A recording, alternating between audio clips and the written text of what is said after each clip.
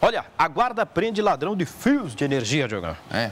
Guardas municipais, o Jean e o Alexandre. O Nheco não estava nessa, viu? Nheco Nheco não estava. Nheco é o guarda municipal. É, isso, é. Um grande abraço pro Nheco.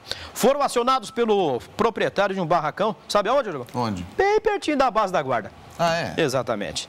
Na norma Prochê número 100, ele informava o proprietário que um ladrão estava furtando os fios de energia do, da- do estabelecimento, né? Os fios do teto do barracão onde ele já trabalhou. E o Daniel Ribeiro foi parar na delegacia, é, viciado, morador de rua, viciado em drogas, né? Foi, cuspiu no prato que comeu, né, João? Ah, ele já tinha trabalhado Já tinha trabalhado lá, o proprietário já tinha dado uma goela para ele lá, né? Para ele comer alguma coisa, ali Foi coisa. lá pra- Foi lá. Chegou lá, o, o proprietário chegando para dar uma, uma vistoria de rotina, o cara puxando os fios lá. Sabe essas fios aradas que tem aqui? Sei. Tava puxando tudo. Aí ele saiu quietinho, a, a- a base lá, daqui lá no- no- na, na nossa recepção. Entendi, metros. Tem um cara furtando os fios lá no meu barraco. Aí já era. Ah, azedou.